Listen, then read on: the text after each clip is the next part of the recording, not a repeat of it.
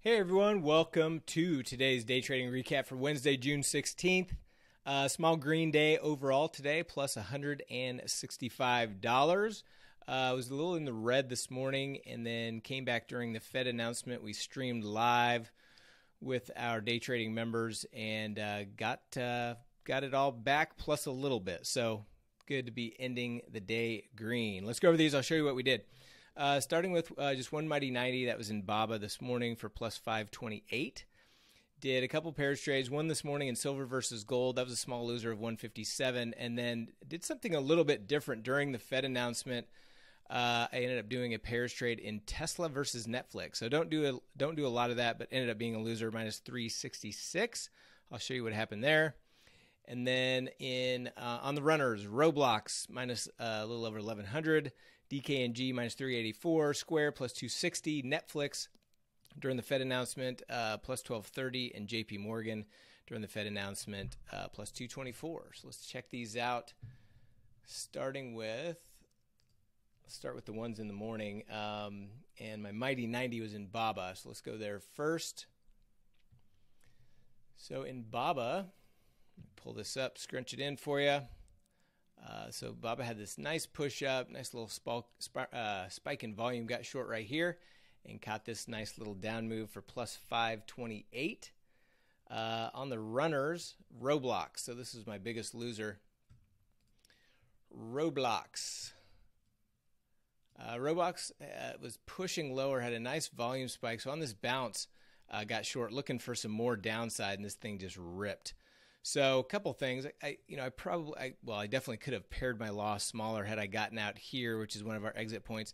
I was waiting to see how it would react to the high of the day, though, and when it didn't roll over at all, just blew through it, ended up closing it out. So it took a lot bigger loss than I wanted to on that, but I'm not, you know, I'm not horribly mad about how I traded it. Uh, you know, this is one that just didn't work out, and so, um, you know, it is what it is. Had to, had to take a loss and uh, and move on. DKNG, another runner, uh, minus 384 on this one. Uh, DKNG, big big volume here. Uh, pulled back, pushed up, uh, and then I think I got out of some. It pulled back again, and that's all she wrote. So uh, once it started kind of bleeding lower, just cut out of it. Took a uh, took a loss of 384 on that one.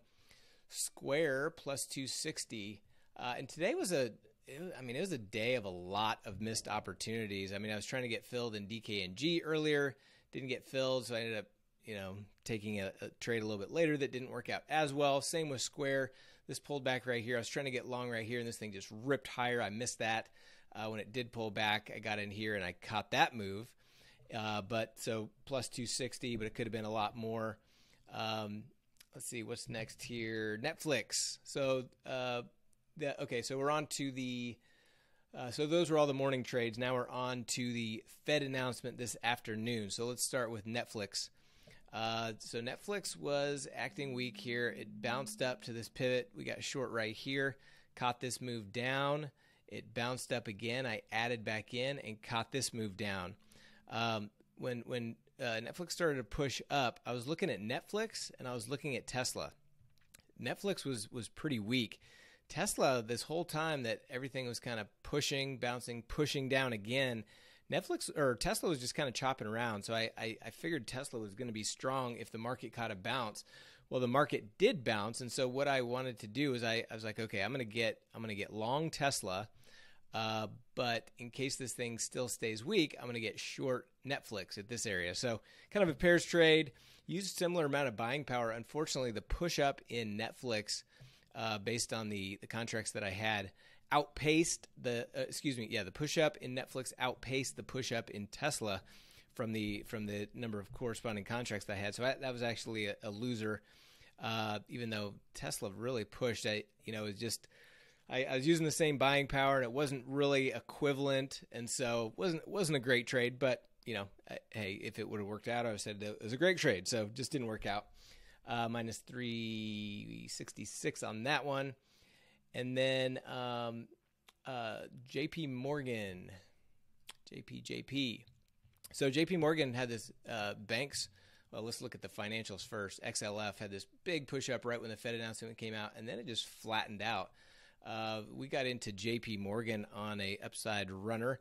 So after this push up, when it pulled back here, got long, and this thing just chopped around forever, forever. Finally gave us a push, got out of half, and then it was getting close to, you know, I wanted to be out by 2:30 Central, and that was about right here. So I just cut out of the rest there. So booked a profit of 224 in JP Morgan. So that was the day, plus 165 on the day. I'll take it after being in the red this morning.